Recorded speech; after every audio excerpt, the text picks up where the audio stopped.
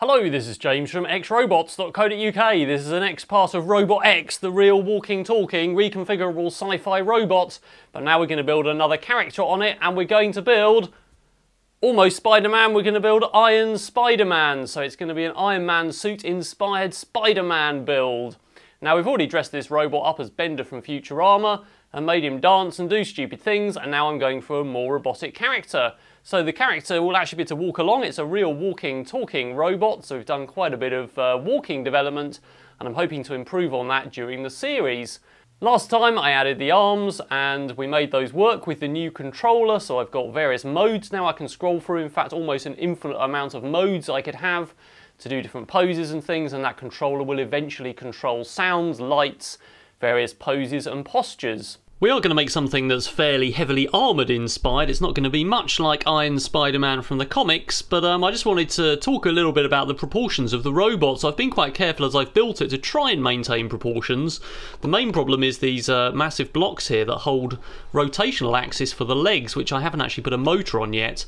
Um, but obviously looking at it, it looks like the torso is quite short and the legs are quite long and the shoulders are quite high. So I've just built... Um, some little parts here. They're just basically sort of uh, temporary parts so that we can see uh, what it looks like when the rest of the parts are there. So obviously the forearms are shorter, so I've just added these blocks, which is where the forearms will be. Obviously there's no cod plate. The actuators do uh, lean out in a sort of triangle shape, um, but without that, um, it looks like the legs are much longer than they really are, of course, and pretty much the pivot point is at um, this sort of height. So uh, obviously with the head on, there's no shoulders, of course, at the moment, and those will be built round, then the head has to go on top of there.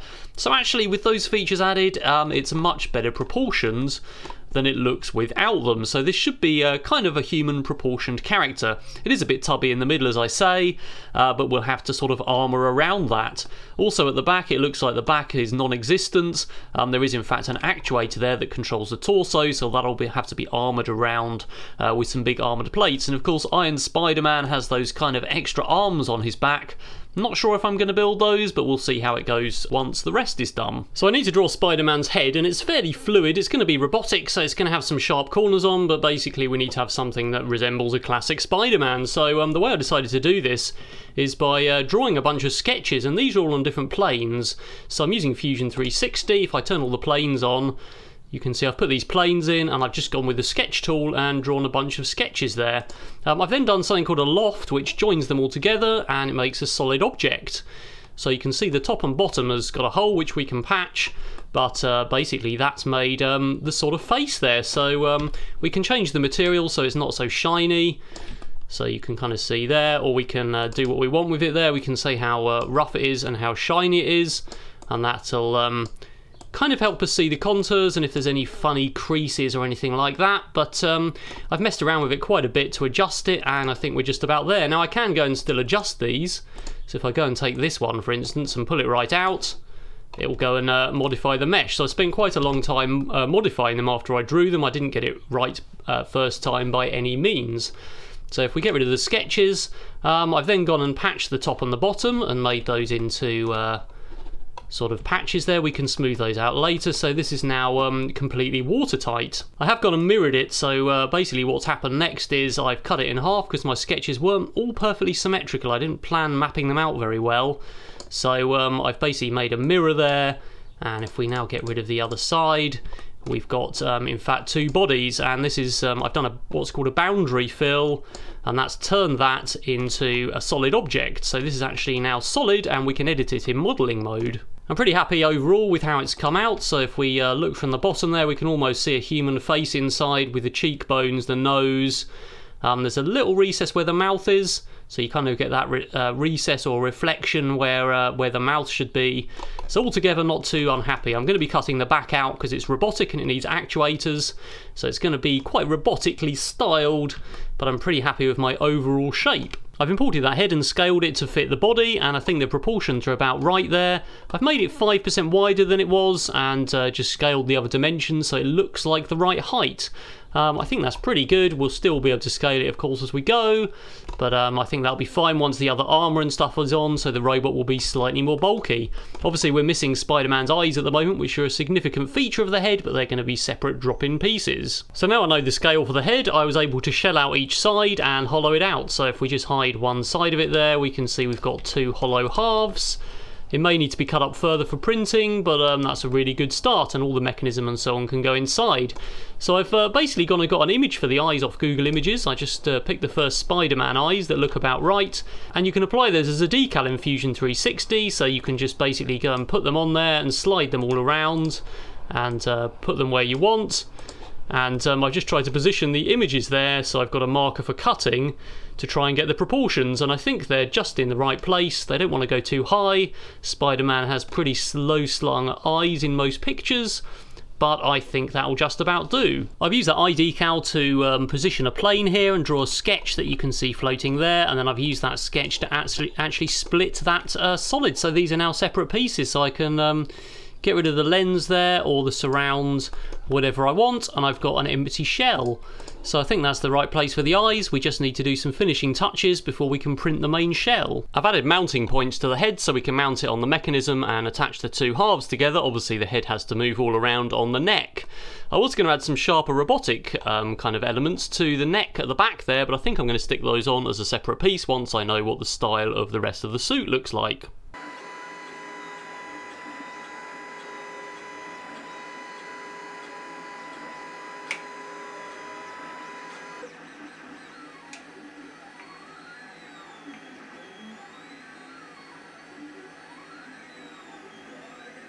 And here it is, and it only took 24 hours to print. The other one is still going, in fact, and the main reason for that is that it's absolutely full of support material. In fact, it weighs loads, um, and obviously there's not really much choice there in terms of how it's going to be printed.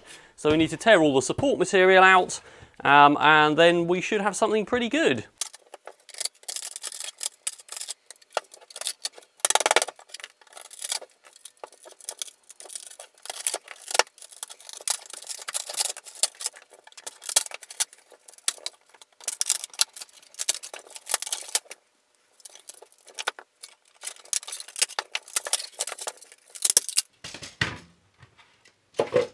Right, I've sorted out most of the support material. You can see my mounting points there, and it's pretty clean actually. The inside's not too bad, and the outside's not too bad either. So it's printed in a 0.25mm layer height. Obviously it suffers worse here. You can see those layers are going to need sanding. The whole thing will be needing sanding, filling and finishing, but I'm pretty happy with that altogether. It is PLA, so it hasn't warped, and the layer bonding's pretty good, so it's actually pretty tough and it's 2 mil thick. But now we need to talk about those eyes. Right, so I've just uh, modified that ice around a little bit, and if we just hide the head there, we can see that in fact it's kind of got this uh, two-layered approach, and the uh, big layer doesn't fit through the hole, and the small one does, of course. So um, that means that it should push in from the inside and uh, sit nicely in that hole there. I've also left a little bit of clearance all the way around, just a tiny gap, uh, obviously there's some uh, tolerance issues with the prints matching up. So um, what I've in fact also done is uh, made some kind of inner parts. Those will be black as well. They're green uh, just for the purposes of being able to see them. And those, in fact, hinge around this point, and they give that effect that we've seen in the new um, Spider Man movie trailer where the eyes can kind of blink. So if you can imagine those closing in like an iris shutting at the top and bottom, and uh, there'll be a servo above and below to push them on those round points. So I've left the top one a bit wider so it can push down further because obviously when you're looking from the top, it'll be easier to see the bottom one and not so easy to see the top one. So the top one will probably have to move further, and those should overlap overlap and they should both slide over each other helpfully so we need to print those and see how that turns out.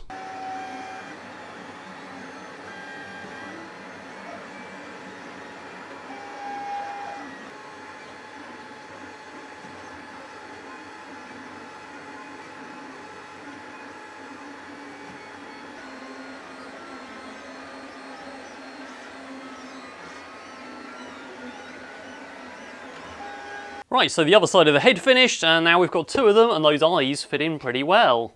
So that's an excellent push fit in there, and it holds itself in without anything else. And I've also got the other top and bottom lids which should move. So we just need to sort of sort out putting those in there with a pivot and seeing what we get out of it. I fitted those eyelids inside there. There's a screw with some washers in between each piece so they run smoothly. They do scrape on each other a bit, but that's unavoidable.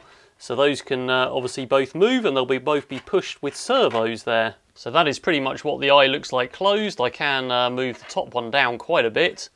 When it's open, of course, we get the normal clean eye. But we now need to add some servos to push those. Right, I've just built an Arduino circuit uh, to control my four servos with a switch. This is just really for testing. When I press the switch, they will move, and when I let go, they move back. And I can control the positions individually for each eyelid.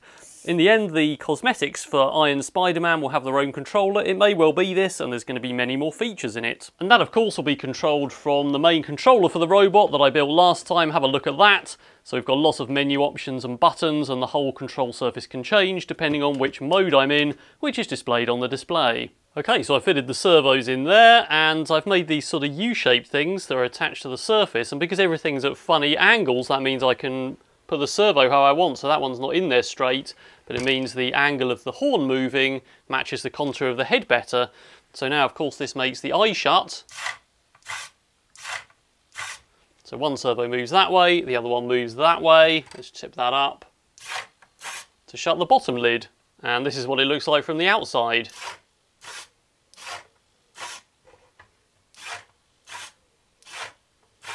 And I mentioned that top lid moves further and it's bigger and that's because probably we're slightly taller than the robot so we'll be looking at this angle. So that means hopefully we can see the eyelids um, equally just about. Obviously the head needs to be mounted on something and it also needs to move in all directions um, so it can look side to side and turn and that's a bit like Ultron's head. So if I take off one side of the head here we can see in fact I've made this frame inside and it fits to those mounting points I left and uh, basically it's made of several pieces that could be printed so we've got this blue piece and we've got three green bits which also of course tie the two halves of the head together and I'm not sure if I'm going to sand and fill and uh, patch up that seam line or what's going to happen but for now I just need to mechanically attach them. Um, also we've got a pivot point on the blue piece this way for the head to tip backwards and forwards and that's attached to another pivot that allows it to tip sideways. So we'll have that on a rotary motor that means the whole head can rotate and then we'll have two levers coming up to this front green part that mean it can move around and it can pan and tilt. Have a look at the Ultron series to see an example of that.